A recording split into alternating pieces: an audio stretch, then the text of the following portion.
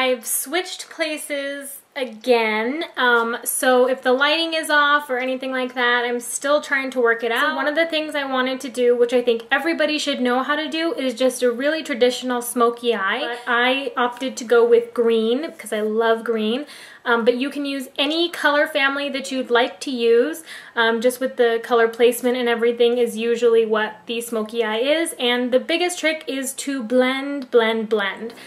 So I hope that you enjoy this video and I hope it's something that you're interested in learning. And here's what I did.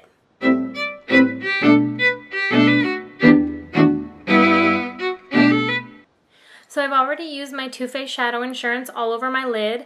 Now I'm going to use a creamy yellow color. It's right here. It's near skin tone. And I'm just going to place that all over my lid and up to my brow bone.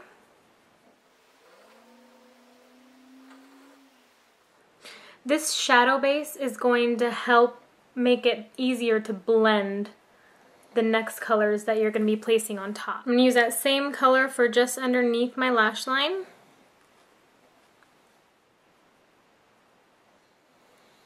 And I'm going to be using a MAC 217. And you can see the color right here. It's just a light olive. I'm just going to pull that through my crease. And about three quarters in, you want to try and keep the front half of this just lighter. And don't worry about the fallout. We will take care of that later.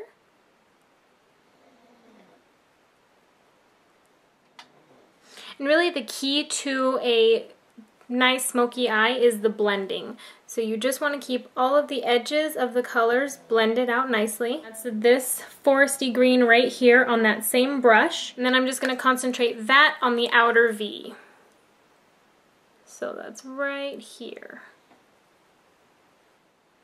And I'm holding the brush a little bit closer to the end for more control and more color movement and I'm just going to use little circular motions right on the outer V. And then up here, I'm going to change it to windshield wiper motions to blend everything together.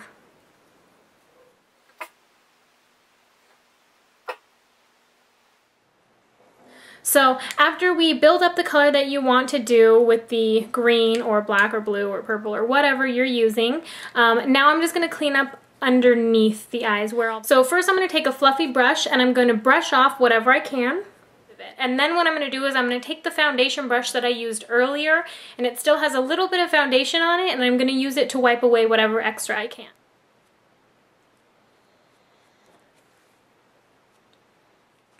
Now what I want to do is take just an angled brush into that first lighter olive color and I'm going to run that along my lower lash line, just right up against the lashes.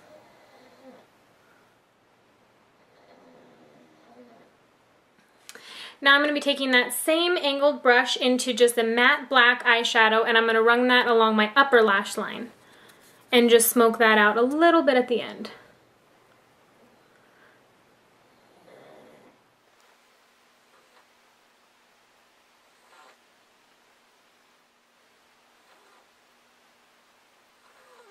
Now I'm going to be taking a black gel liner on a flat liner brush just right into that. And I'm going to be pushing that into my waterline and also my tight line.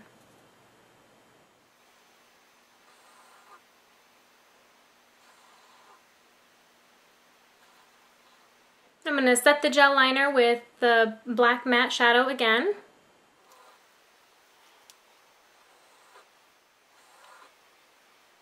And I'm going to be using a very volumizing mascara.